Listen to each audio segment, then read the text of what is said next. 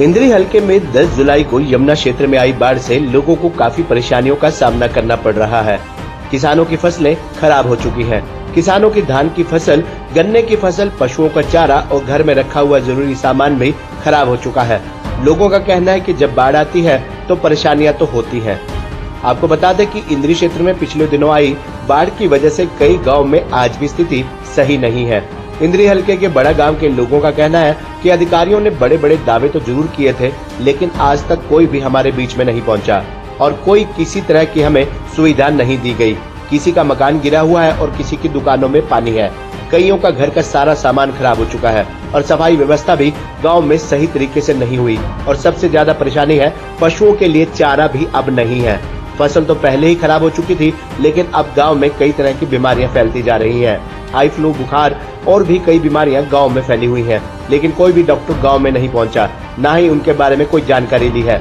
बड़ा गाँव के लोगों का कहना है कि सड़कों की भी हालत खराब बनी हुई है। धान की फ़सल पूरी तरह खत्म हो चुकी है। गन्ने की फ़सल भी काफ़ी बर्बाद हो गई है। धान की फ़सल को किसान दोबारा से लगा रहे हैं, लेकिन पौध नहीं मिल रही है।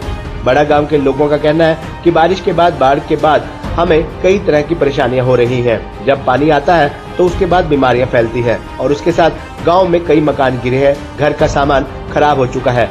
गेहूँ जो थी, वही भी खराब हो गई है।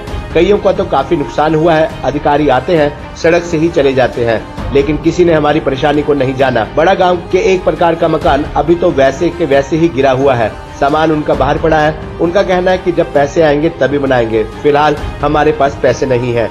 किसी किसान के पैसे लेकर हम मकान अपना बनाएँगे, लेकिन अभी तक किसी ने हमारी सुध नहीं ली।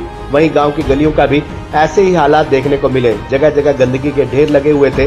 नालों की सफ़ाई नहीं थी। गाँव की महिलाओं ने बताया कि इस गंदगी की वजह से गाँव में काफ़ी बीमारियाँ फैली हुई हैं। हर घर में कोई न कोई बीमार है। पानी का ये ऐसे कैसे कबाड़ पड़ा? सारा सेम टू सेम कोई साफ़ नहीं कोई सफ़ाई नालियाँ सारी दूर की दूर सारी साफ़ नहीं होंगी सारी भरी पड़ी नाला भरया पड़ा रहा है। कोई भी ना कोई वाला ते आंदा ना कोई कहीं ते जाता करता ही नहीं है कोई भी साफ़। ऐसे से क्या क्या नुकसान हुआ है? बाढ़ दे तो कोई नुकसान बाढ़ दे तो बस पानी भरा था तो नुकसान ही था। माले कट्टे कुट्टे लगाए फिर इसी वजह से थोड़ा सा वो होया। बाकी नहीं कबाड़ तो ऐसा तो गली में ये पाना कूड़ा निकाल के ढेर लग रहा है। उस दिन का यहाँ सफ़ाई भी नहीं हुई। है इसकी वजह से मच्छर होंगे बीमारियाँ होंगी बुखार हो रहा है। इधर घर में ना इनके घर के आगे ना ये कूड़ा पड़ा है। इनके घर के सारे बीमार हो रहे हैं। सबकी आँखें आ रही हैं सबकी आँखें लाल हो रही है इधर घर में जिनके घर के आगे इतना कूड़ा पड़ा है। वो सब लोग बीमार हो रहे हैं। बच्चे भी स्कूल से घर बैठे हैं। स्कूल की मैम ने भी उनको घर भेज दिया कि अपने घर बैठो बीमारी चल रही है आपको स्कूल में नहीं आना। उनके घर पे ही घर के सामने इतना कूड़ा पड़ा हुआ है। कारण क्या है जी? कारण ये आँखें हो रही है ये मच्छर इतने पैदा हो रहे हैं सारे घर के बीमार हो रखे हैं इनके। तो यहाँ इस हाँ इसकी वजह से। और इसकी वजह से पूरा मोहल्ला बीमार हो जाएगा। इधर बच्चे घूमेंगे फिरेंगे आएँगे जाएँगे। बच्चे बीमार हो जाएँगे और कूड़ा अब से यहीं पर पड़ा हुआ है सर तो आप भी इसका कराओ ना थोड़ा बंदोबस्त भी साफ़ सफ़ाई गाँव में हो जाए ताकि कोई भी बीमार ना हो आँखों की बीमारी चल रही है जगह जगह बच्चे बीमार हो रहे हैं और घर पे बच्चे बैठ गए हैं अब। इस घर में तो बिल्कुल बहुएँ भी सासुएँ भी और बच्चे भी सब बीमार हो रहे हैं।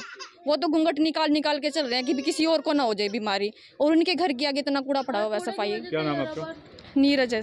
के बाद अब क्या स्थिति है? अब तो स्थिति आप देख ही रहे देख लो कितना गंदा हाल हो रहा है। यहाँ से ना कोई सफ़ाई वाला आवो ना कोई आवो।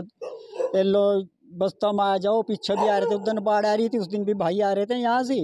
उस दिन भी वे बोल रहे हम टीवी पर भी करेंगे नू भी करेंगे। कोई नहीं आया उसके बाद में भी यहाँ से। अच्छा। कुछ नहीं मारा हाल हो गया कुछ भी। दीवारों में वो पानी फूट जा बच्चे तंग हो जा अनाज भी भीग जा हमारा बहुत बुरा हाल हो बहुत बुरा हाल है। बहुत बुरा हाल होगा जी हमारा यहाँ से।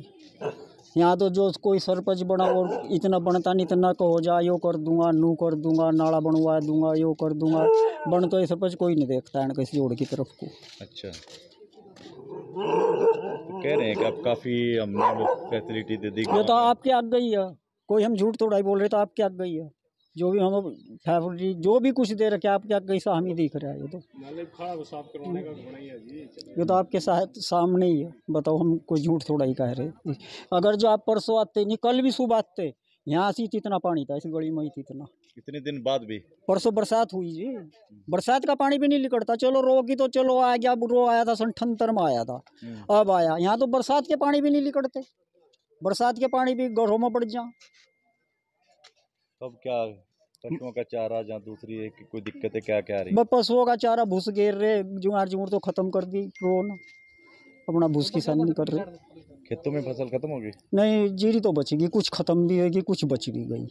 नो थोड़ा ही कोई झूठ थोड़ा ही बोल लिया जा भाई। बच भी गई और ख़त्म भी होगी। बड़े गाँव में कम से कम दो सौ ढाई सौ तीन सौ किले ख़त्म हो गए। और बच भी बहुत काफ़ी गई। यानी जिस तरह का पानी आया था कोई उम्मीद नहीं थी बचने की। बची भी बहुत क्या नाम आपका? ईसम सिंह राणा। खबरनामा हरियाणा के लिए इंद्री से विजय की रिपोर्ट।